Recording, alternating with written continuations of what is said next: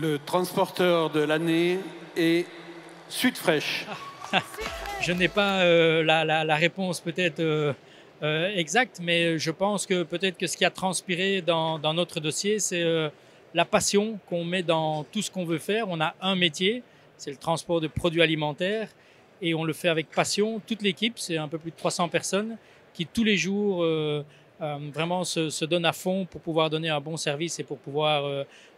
servir correctement nos clients avec, avec passion et, implication. Alors, la soirée,